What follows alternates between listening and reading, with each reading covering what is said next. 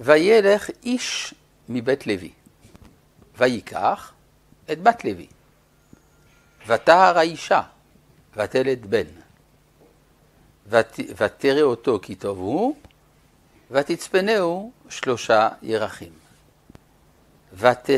ותתצב אחותו מרחוק, ותרד בת פרעה.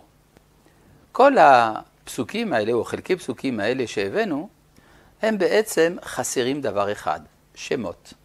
היינו רוצים לדעת מי זה האיש, מי זאת האישה, מי זה הילד, מי זאת בת פרעה, מי זאת האחות.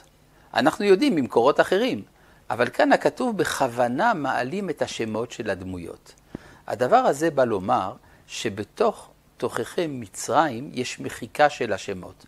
בעוד שהפרשה שלנו מתחילה מ- ואלה שמות בני ישראל, לאט לאט הולכים ונעלמים השמות. המצרים מתייחסת אל האדם בצורה אימפרסונלית, שאינה מכירה בערך האישי של האדם. ורק אחרי שמשה, בעצם ותקרא את שמו משה, מה זה משה? משה זה בן במצרית. ותאמר, האמא, כי מן המים הוא דרשה עברית על שם מצרי. כלומר, רק אחרי שמשה בורח למדיין ונושא את ציפורה, אה, פתאום יש שמות. יש שמות, יש שמות למשה, ליתרו, לראואל, לציפורה, לבן של משה, שנקרא גרשום, וגם מתגלה סוף סוף השם של הקדוש ברוך הוא, אומר למשה, אתה רוצה לדעת את שמי, הנה זה השם שלי. כלומר, אנחנו מבינים שאבותינו במצרים היו טבועים, מלשון לטבוע, בתוך מעמקיה של תרבות מוחקת.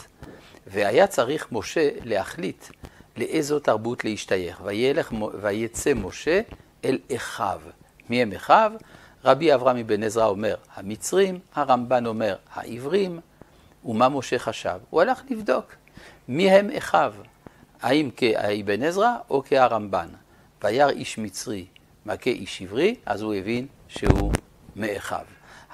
ההזדהות עם הסבל של העם היהודי היא זו שיצרה את הסולידריות של משה דווקא עם הגורל של העם העברי.